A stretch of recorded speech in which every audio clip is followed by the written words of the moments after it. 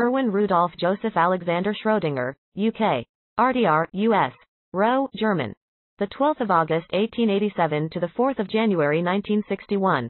Sometimes written as Erwin Schrödinger or Erwin Schrödinger, was a Nobel Prize-winning Austrian-Irish physicist who developed a number of fundamental results in quantum theory.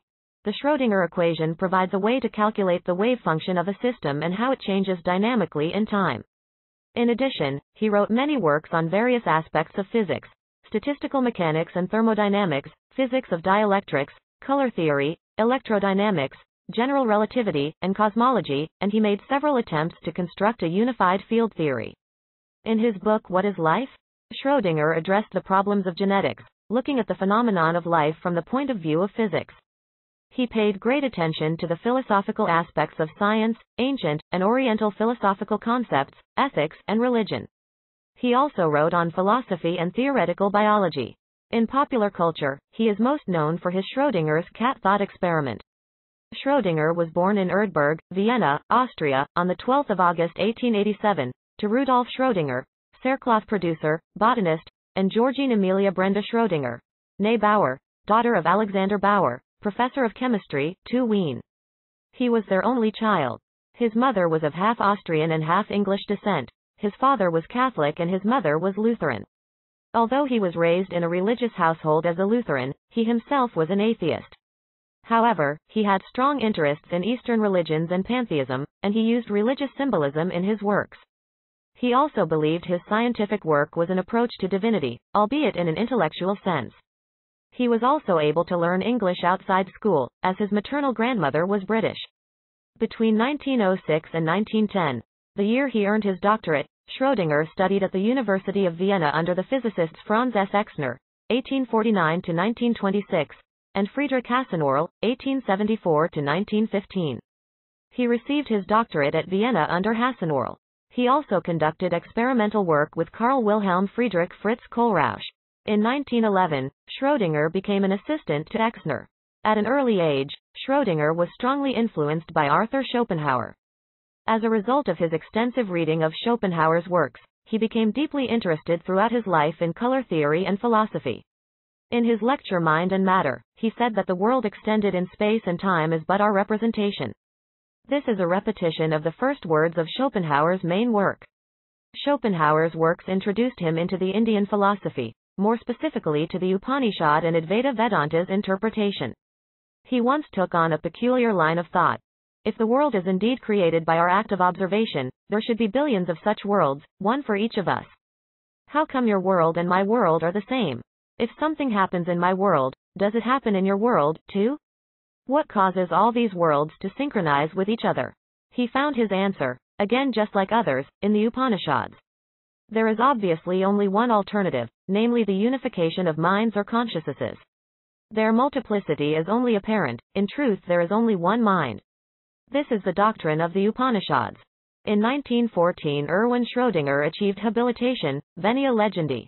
Between 1914 and 1918 he participated in war work as a commissioned officer in the Austrian fortress artillery, Gorizia, Duino, Sistiana, Prosecco, Vienna.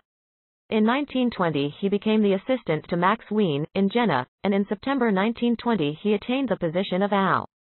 Professor, Außerordentlicher Professor, roughly equivalent to Reader, UK, or Associate Professor, US, in Stuttgart.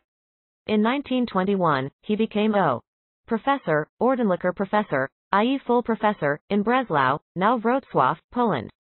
In 1921, he moved to the University of Zurich. In 1927, he succeeded Max Planck at the Friedrich Wilhelm University in Berlin. In 1933, Schrödinger decided to leave Germany because he disliked the Nazis' anti-Semitism. He became a fellow of Magdalen College at the University of Oxford. Soon after he arrived, he received the Nobel Prize together with Paul Dirac. His position at Oxford did not work out well. His unconventional domestic arrangements, sharing living quarters with two women, were not met with acceptance. In 1934, Schrödinger lectured at Princeton University. He was offered a permanent position there, but did not accept it. Again, his wish to set up house with his wife and his mistress may have created a problem. He had the prospect of a position at the University of Edinburgh but visa delays occurred, and in the end he took up a position at the University of Graz in Austria in 1936. He had also accepted the offer of chair position at Department of Physics, Allahabad University in India. In the midst of these tenure issues in 1935, after extensive correspondence with Albert Einstein, he proposed what is now called the Schrödinger's cat thought experiment. In 1938, after the Anschluss, Schrödinger had problems in Graz because of his flight from Germany in 1933 and his known opposition to Nazism. He issued a statement recanting this opposition. He later regretted doing so and explained the reason to Einstein. However, this did not fully appease the new dispensation and the University of Graz dismissed him from his post for political unreliability. He suffered harassment and was instructed not to leave the country. He and his wife, however, fled to Italy. From there, he went to visiting positions in Oxford and Ghent University. In the same year he received a personal invitation from Ireland's Taoiseach, Eamon de Valera, a mathematician himself, to reside in Ireland and agree to help establish an institute for advanced studies in Dublin. He moved to Kincora Road, Clontarf, Dublin and lived modestly. A plaque was erected at his Clontarf residence and at the address of his workplace in Merrion Square. He became the director of the School for Theoretical Physics in 1940 and remained there for 17 years. He became a naturalized Irish citizen in 1948, but also retained his Austrian citizenship. He wrote around 50 further publications on various topics, including his explorations of unified field theory. In 1944, he wrote What is Life? which contains a discussion of negentropy and the concept of a complex molecule with a genetic code for living organisms. According to James D. Watson's memoir, DNA, The Secret of Life, Schrödinger's book gave Watson the inspiration to research the gene, which led to the discovery of the DNA double helix structure in 1953. Similarly, Francis Crick, in his autobiographical book What Mad Pursuit, described how he was influenced by Schrödinger's speculations about how genetic information might be stored in molecules. Schrödinger stayed in Dublin until retiring in 1955. A manuscript fragment from an unpublished dialogue of Galileo from this time recently resurfaced at the King's Hospital Boarding School, Dublin after it was written for the school's 1955 edition of their Bluecoat to celebrate his leaving of Dublin to take up his appointment as chair of physics at the University of Vienna. In 1956, he returned to Vienna, chair ad personam. At an important lecture during the World Energy Conference he refused to speak on nuclear energy because of his skepticism about it and gave a philosophical lecture instead. During this period Schrödinger turned from mainstream quantum mechanics definition of wave-particle duality and promoted the wave idea alone, causing much controversy. Early in his life, Schrödinger experimented in the fields of electrical engineering, atmospheric electricity, and atmospheric radioactivity, but he usually worked with his former teacher Franz Exner. He also studied vibrational theory, the theory of Brownian motion, and mathematical statistics. In 1912, at the request of the editors of the Handbook of Electricity and Magnetism, Schrödinger wrote an article titled Dielectrism. That same year, Schrödinger gave a theoretical estimate of the probable height distribution of radioactive substances, which is required to explain the observed radioactivity of the atmosphere, and in August 1913 executed several experiments in Seeham that confirmed his theoretical estimate and those of Victor Franz Hess. For this work, Schrödinger was awarded the 1920 Haitinger Prize, Haitinger Preis, of the Austrian Academy of Sciences. Other experimental studies conducted by the young researcher in 1914 were checking formulas for capillary pressure in gas bubbles and the study of the properties of soft beta radiation produced by gamma rays striking metal surface. The last work he performed together with his friend Fritz Kohlrausch. In 1919, Schrödinger performed his last physical experiment on coherent light and subsequently focused on theoretical studies.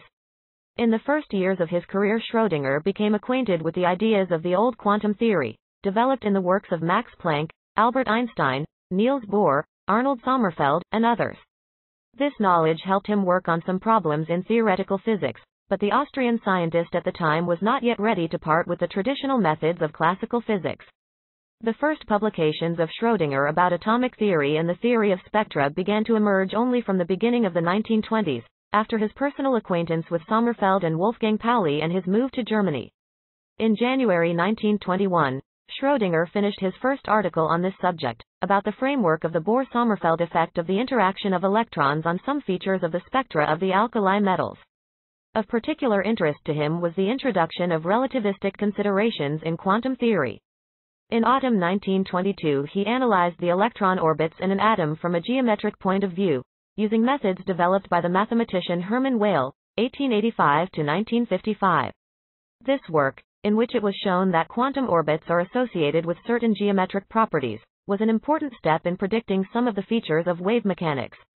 Earlier in the same year he created the Schrödinger equation of the relativistic Doppler effect for spectral lines, based on the hypothesis of light quanta and considerations of energy and momentum. He liked the idea of his teacher Exner on the statistical nature of the conservation laws, so he enthusiastically embraced the articles of Bohr, Kramers, and Slater which suggested the possibility of violation of these laws in individual atomic processes, for example, in the process of emission of radiation. Although the experiments of Hans Geiger and Walther Bothe soon cast doubt on this, the idea of energy as a statistical concept was a lifelong attraction for Schrödinger and he discussed it in some reports and publications. In January 1926, Schrödinger published in Annalen der Physik the paper Quantisierung als Eigenwert Problem, quantization as an eigenvalue problem, on wave mechanics and presented what is now known as the Schrödinger equation. In this paper, he gave a derivation of the wave equation for time-independent systems and showed that it gave the correct energy eigenvalues for a hydrogen-like atom. This paper has been universally celebrated as one of the most important achievements of the 20th century and created a revolution in most areas of quantum mechanics and indeed of all physics and chemistry. A second paper was submitted just four weeks later that solved the quantum harmonic oscillator, rigid rotor, and diatomic molecule problems and gave a new derivation of the Schrödinger equation. A third paper, published in May, showed the equivalence of his approach to that of Heisenberg and gave the treatment of the Stark effect. A fourth paper in this series showed how to treat problems in which the system changes with time, as in scattering problems. In this paper he introduced a complex solution to the wave equation in order to prevent the occurrence of fourth and sixth order differential equations. This was arguably the moment when quantum mechanics switched from real to complex numbers. When he introduced complex numbers in order to lower the order of the differential equations, something magical happened, and all of wave mechanics was at his feet. He eventually reduced the order to 1. These papers were his central achievement and were at once recognized as having great significance by the physics community. Schrödinger was not entirely comfortable with the implications of quantum theory referring to his theory as wave mechanics. He wrote about the probability interpretation of quantum mechanics, saying, I don't like it, and I am sorry I ever had anything to do with it. Just in order to ridicule the Copenhagen interpretation of quantum mechanics, he contrived the famous thought experiment called Schrödinger's cat paradox. Following his work on quantum mechanics, Schrödinger devoted considerable effort to working on a unified field theory that would unite gravity, electromagnetism, and nuclear forces within the basic framework of general relativity, doing the work with an extended correspondence with Albert Einstein. In 1947, he announced a result, affine field theory, in a talk at the Royal Irish Academy, but the announcement was criticized by Einstein as preliminary and failed to lead to the desired unified theory. Following the failure of his attempt at unification, Schrödinger gave up his work on unification and turned to other topics.